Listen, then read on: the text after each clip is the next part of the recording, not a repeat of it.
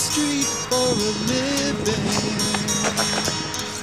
Pictures only begun.